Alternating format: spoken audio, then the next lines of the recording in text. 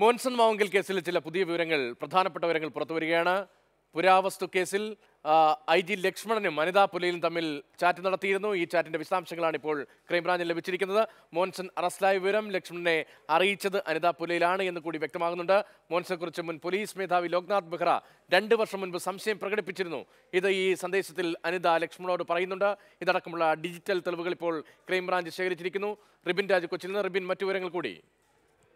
രതീഷ് മോൻസൺ മൗങ്കൽ ഈ പുരാവസ്തു തട്ടിപ്പ് കേസുമായി ബന്ധപ്പെട്ട് അറസ്റ്റിലായതിനു ശേഷം അതായത് സെപ്റ്റംബർ ഇരുപത്തിയഞ്ചാം തീയതി വൈകുന്നേരം രാത്രി ഒൻപത് ഇരുപത്തി ഒന്നിന് നടന്നിട്ടുള്ള വാട്സാപ്പ് സന്ദേശമാണ്. അതായത് അനിത പുലിയിലും ഐ ജി ലക്ഷ്മണനും തമ്മിൽ നടത്തിയിട്ടുള്ള വാട്സാപ്പ് സന്ദേശമാണ് ഇപ്പോൾ പുറത്തു വന്നിരിക്കുന്നത്. അതിൽ ഒൻപത് ഇരുപത്തി ഒന്നിന് അയച്ചിരിക്കുന്ന മെസ്സേജ് ഇപ്രകാരമാണ് today evening Mons arrested the Kerala police എന്ന ഒരു വിവരം പങ്കുവെക്കുന്നു.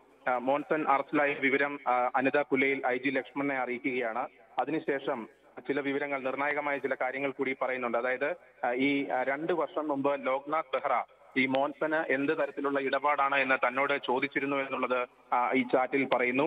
അത്തരം സംഭാഷണങ്ങളാണ് പിന്നീട് നടക്കുന്നത്. ഈ വിവരം നിർണായകമായ വിവരം പങ്കുവച്ചതിനുള്ള നന്ദി ഐ ജി ലക്ഷ്മണൻ അനിത പുല്ലേലിനെ അറിയിക്കുകയും ചെയ്യുന്നുണ്ട്. ഈ വിവരങ്ങൾ ഡിജിറ്റൽ തെളിവുകളായി ക്രൈംബ്രാഞ്ച് ഇപ്പോൾ ശേഖരിച്ചിരിക്കുകയാണ്. അതേസമയം തന്നെ ഈ രണ്ട് വർഷം മുൻപ് ബെഹ്റ ഈ കാര്യങ്ങൾ മോൻസന്റെ ചില ഇടപാടുകളെ പറ്റി അന്വേഷിച്ചിരുന്നു എന്ന് പറയുമ്പോൾ അതിൽ ചില ദുരൂഹതകൾ കൂടി സംശയിക്കുന്നു. കാരണം ലോക്നാഥ് ബെഹ്റയെ വെള്ളപൂശുന്നതിനായോ വെള്ളപൂശുന്നതിനായോ ന്യായീകരിക്കുന്നതിനോ വേണ്ടി കൃത്യമായ ആസൂത്രണത്തോടെ അയച്ച ഒരു മെസ്സേജ് ആയിട്ടും ഇതിനെ വ്യാഖ്യാനിക്കുന്നുണ്ട്. കാരണം ഈ ലോക്നാഥ് ബെഹ്റ ഈ കേസുമായി ബന്ധപ്പെട്ട് ആരോപണ വിധേയനായിരുന്നു. പല ഇത്രയും വലിയ സ്ഥലത്ത് പോവുകയും ഈ കാര്യങ്ങൾ കാണുകയും ചെയ്തിട്ടും കൃത്യമായ ഒരു അന്വേഷണമോ മറ്റു കാര്യങ്ങളോ നടത്തിയില്ല എന്നൊരു ആക്ഷേപം ഉണ്ടായിരുന്നു. ഈ ഒരു സാഹചര്യത്തിലാണ് ഇത്തരത്തിൽ രണ്ടു വർഷം മുമ്പ് ബെഹ്റ ഇത് ഈ മോൻസനെ പറ്റി തന്നോട് ചോദിച്ചിരുന്നു എന്നുള്ള വിവരം അനിത പുല്ലയിൽ ഐ ജി ലക്ഷ്മണോട് പറയുന്നത്. അതുകൊണ്ട് തന്നെ ഇത് ബെഹ്റയെ ന്യായീകരിക്കുന്നതിന് വേണ്ടിയിട്ടുള്ളതാണോ എന്നുള്ളൊരു സംശയവും ഉയർന്നു വരുന്നുണ്ട്. എന്തായാലും ഇതുമായി ബന്ധപ്പെട്ട കൂടുതൽ ഡിജിറ്റൽ തെളിവുകൾ ക്രൈംബ്രാഞ്ച് ശേഖരിക്കുകയാണ്. കേസുമായി ബന്ധപ്പെട്ട